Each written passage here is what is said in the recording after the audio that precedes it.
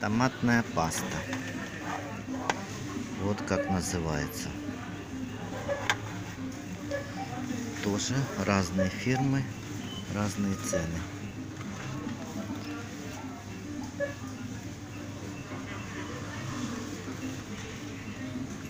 И расфасовки тоже, какие хочешь. Обратите внимание, если написано вот бибер, значит с перцем.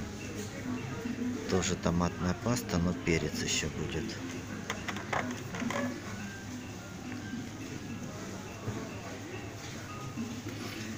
Вот с перцем.